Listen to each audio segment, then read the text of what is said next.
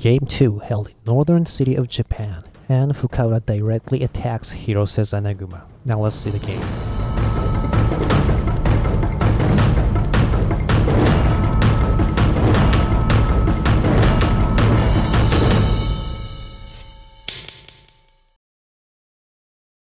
Hello everyone, it's Hidetchi, bringing you game 2 of the 51st Ou-i title sponsored by the Alliance of Newspaper Companies. Now it's game 2. Well, Fukaura has been losing so many games, so many major title games in a row, so he has to stop this momentum. And, you know, he has black pieces to use this time, so he has to stop it now. And yes, he has to stop uh, this Hirose's Ranger Anaguma. And you know what? What he came up with for this game? well, he used an amazing strategy, uh, very amazing way to uh, attack directly on Hirose's Anaguma. So now let's take a look at it. Okay, so uh, black played pawn 7f, while Hirose played 3d, and 2f, 4d, clearly signaling a classic type, classic type ranging rook, which probably be a Anaguma castle. Okay, uh, 0 4h, rook 4b, fourth file rook. Now king goes to castle, 6h, 6b, 7h, 7b. Okay, pawn 5f, 0, 3b, and gold 5 is from the right. And now white's king even goes to 8b, uh, going to castle. Now, of course, uh, uh, we know there are two major options, Mino Castle or Anaguma Castle, but of course he's going to go into Anaguma, and Fukaura uh, here now pushes the edge pawn up to 9f. Well, kind of saying, well, you're going to go into Anaguma again, right? So if you're going to, just do it now. Okay, so Hirose does that. I'm to do that. That's 9b.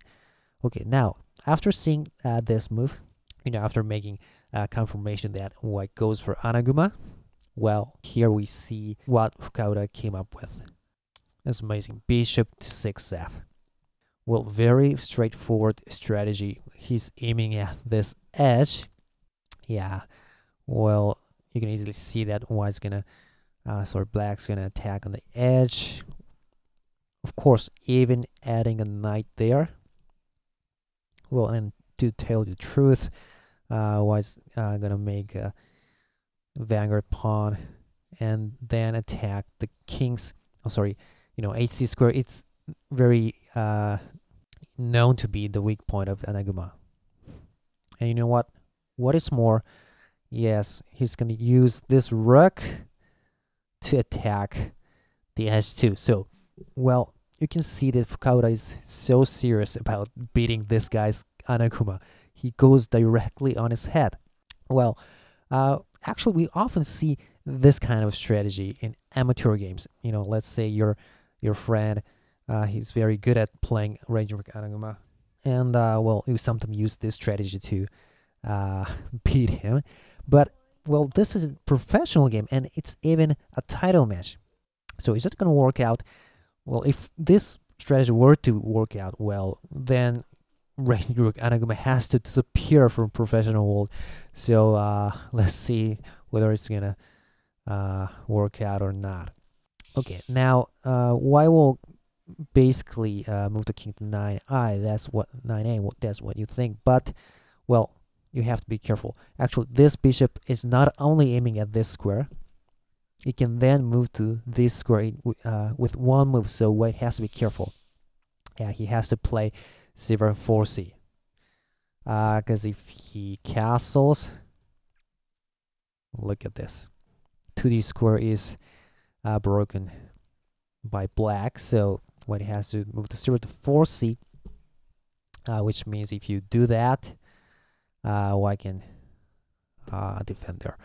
So 0 4c, and then, okay, pawn to 8f, yeah. Just as I said, he goes for the king's head. Okay, now king castles, but pawn up to 8e, 0 8b, okay, 0 8h, okay, pawn 7d, 2e, bishop 3c, and black goes 8d. Okay, white takes black, recaptures. Okay, he has made a pawn exchange, and uh, white will eventually have to drop his pawn to AC, I guess, but he doesn't do that for now. Uh, he wants to keep that in his hand. So go to 7b. Okay, bishop goes back to 5g. not on 6f, di- directly to 5g, uh, aiming at 2d square.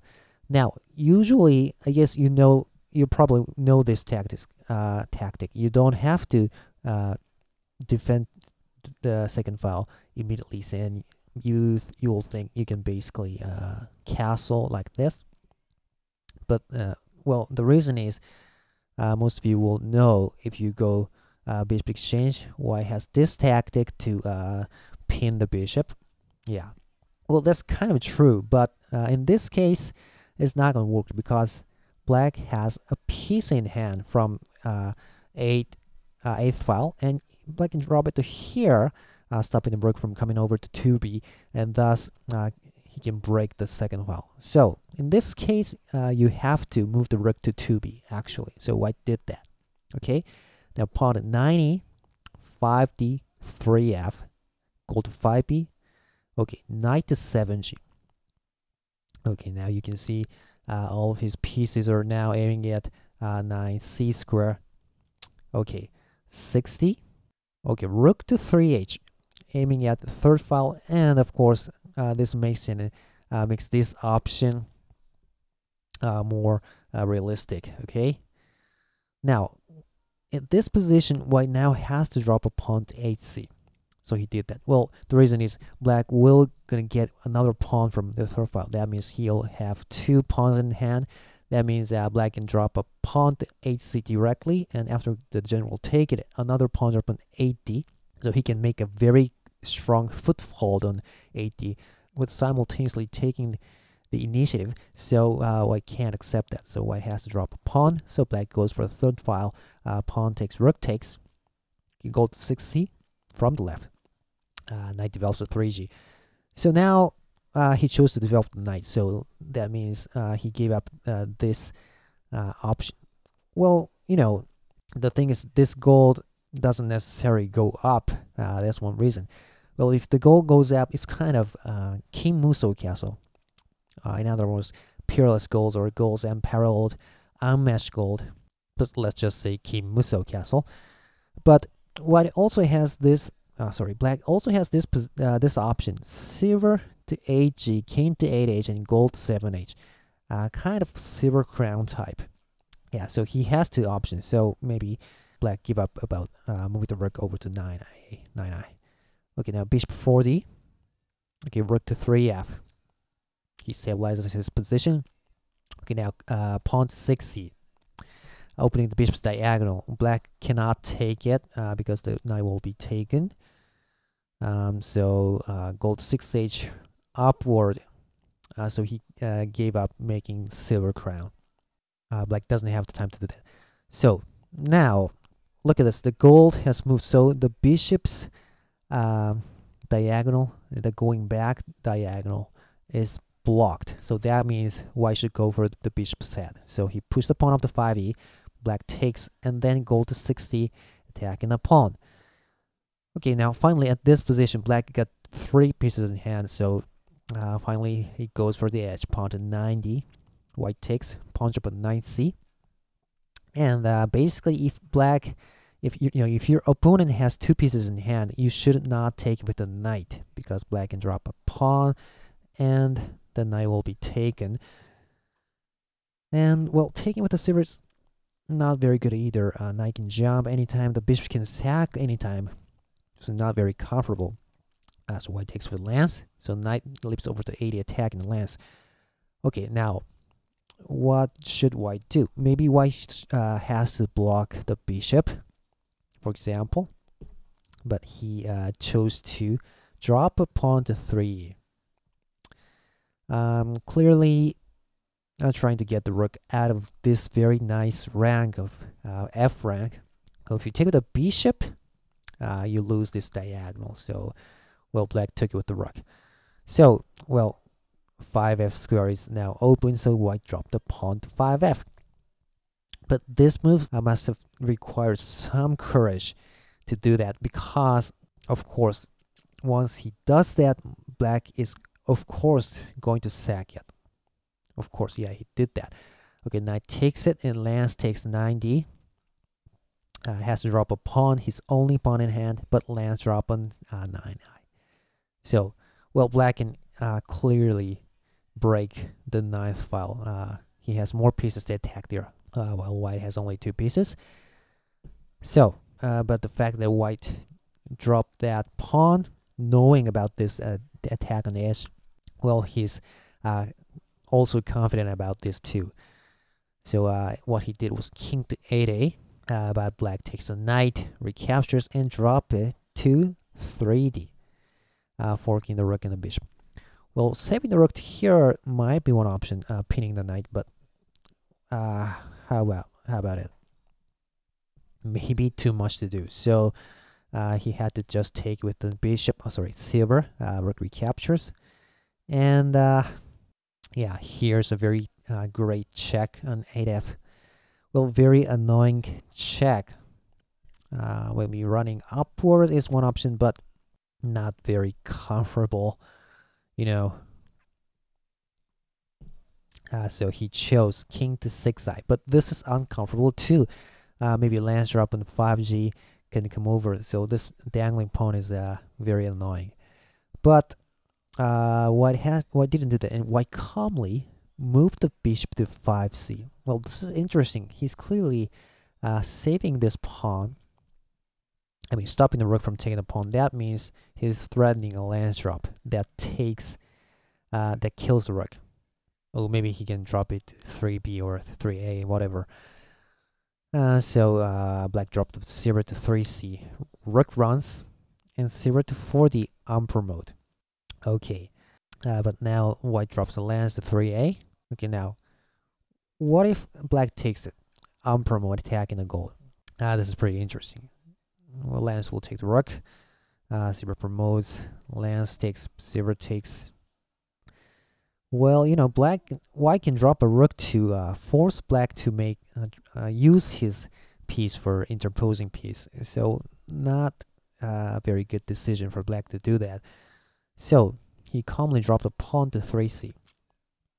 Well, he didn't uh, drop it directly to uh, 3b to uh, keep attacking. So white has uh, got another turn here. And, uh, well, there are some options. What about bishop 7i running away and defending the square?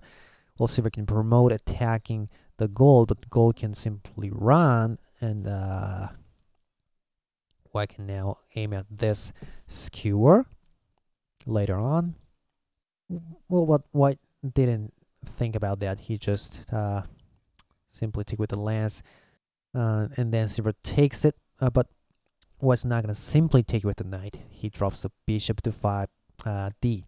Okay, so what if the rook runs? Well, of course, White can block it, and after the rook runs, he can take the silver. Well, there are some options. If uh, Black goes here, uh, maybe this I will proceed like this. That's one option. Uh, what, what about running to here? Well, he takes it. And, you know, once the bishop is uh, right next to each other like this, black can drop a lance there, of course. But white can take it, take it, and bishop can attack there. So, oh, and look at this. Uh, every square are protected. And uh, what about running to 5f? well, maybe after knight takes, this bishop can later on attack the rook. So, actually, black thought uh, it's not a good idea to uh, save the rook here. I mean, let the rook escape. So he dropped the lance here. Uh, yeah. And white will take it. Black recaptures and he drops a silver to 3b. So he can win that lance. But once black made a dragon, uh, black is very strong too. And at this position, uh, instead of uh, saving the dragon, he moved the dragon to 4b. Well, great. Well, uh, he's threatening this check, so uh, white has to take it. Uh, black recaptures, attacking the bishop and the silver. Uh, bishop runs 60. Well, white is up material actually, but black's attack is very fierce. Okay, now, at this position, black calmly dropped the pawn to ag uh, trying to get rid of that knight. Okay, but what makes a very good move too, 0 to 3c, attacking the lance. Well, lance of course runs to 4c. again attacking the silver. But uh, the reason this move is great is that now the rook is defending around this rank. Okay, now pawn 3f. Uh, black takes a knight, white takes a knight, silver recaptures.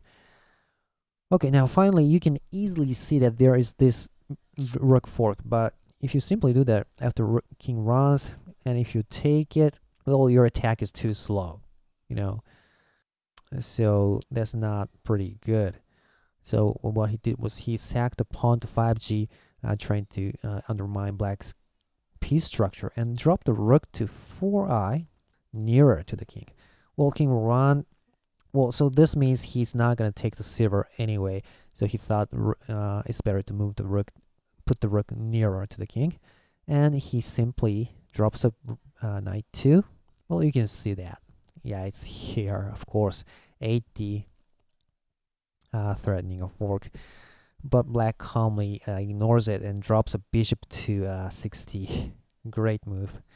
Uh, white took this pawn in 7f, but at this instant, when the pawn is taken, black can anytime drop a pawn there. So uh, that's a good point for black too.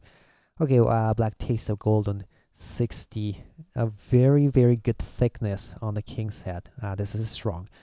Uh, well, black's king is okay. White takes the silver, king recaptures, silver drop on 7 eye, king runs, he takes a gold, king takes, and rook takes a lance.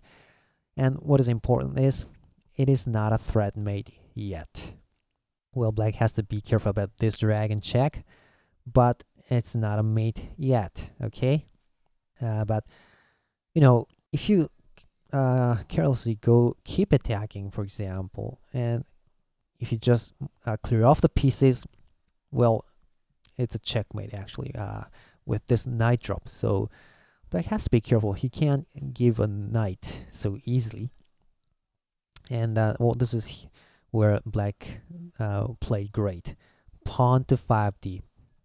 Blocking this diagonal, thus making the escaping route for the king uh, anytime. And what is more important, he made this square available for uh, for the horse to attack the dragon and also cover this very nice square for the dragon to check okay? But now I played pawn up to 70 attacking the knight well this is interesting. Once he takes the knight it's a checkmate. So uh, yeah he's aiming for the knight. But horse to 5e attacking the dragon. Okay uh, dragon takes the lance on 1a 1i sorry. Okay now here black reads everything and goes there knight on 9c sacrifice. Okay uh white took it but here's the cool move. Silver sacrifice on 8b uh cannot take it of course. Um it's a checkmate you can see that so uh, white runs well but at this position black suddenly uh, made his own king safer with gold to 5f. Well, once black did that, well, uh, all of a sudden black's king is so safe because, well, look at this thickness along uh, the mid rank. But I guess black should have done that earlier before uh, he a knight. W why not uh, just do that now? Uh, he just sacked the knight and then did that a little bit strange, but maybe it's okay. Uh, Lancer up on 5A, but very good counter attack on 5C. Uh, it's a threat made gold drop on the 6A. Uh, so White has to defend that. And he did uh, gold to 8B. Well, but here's a great pawn drop on 7B. Focus pawn. And uh, if you take with a gold or a rook, it's checkmate with a gold drop on a uh, 6A. So White took it uh, with the king. Well, with the bishop, maybe another pawn drop on 8, uh, 7c. So he actually drop, uh, take with the king. Okay, now here knight drops to 80. Okay, white dropped knight to 7f. King runs to 5g. Okay, dragon checks. And at this position, uh, black has read everything. And he now dropped a gold to 5ish. White has to save the dragon uh, here. Uh, black has read everything. He now finally took the zero uh, 9c. Uh, okay, so has to take it. But silver drop on the 7c. And here now seeing this move, white Hirose resigned. Well, it's uh, checkmate, but the following moves are pretty long. Actually, uh, white has to now run to 7a and pawn drop. Well, if you take with the bishop, the uh, rook's defense is blocked, so maybe uh, silver on promotion. Uh, so it's a checkmate easily. Uh, so he has to take it with the rook. Okay, take it with the rook. So he captures. Uh, has to take it with the bishop. Well, the bishop is uh, saving these both two pieces, but here's great sacrifice. Uh, if you take it, rook drop. So has to take with the bishop. So uh, that means this square is open. Uh, king should run. What about pawn drop? Oh, it's a checkmate. Uh, whatever white does, uh, discovery, checkmate. So, well, congratulations for Fukaura. And, uh, well, his strategy worked out. So what is Hirose going to do in the next game? Uh, he has to find a way to deal with this strategy of Fukaura, right? So, uh, and win count is now 1 to 1. He tied the score. Now it's getting more and more exciting. Uh, so let's we'll keep watching this title match, alright? Hope you enjoyed this video. Thanks for watching.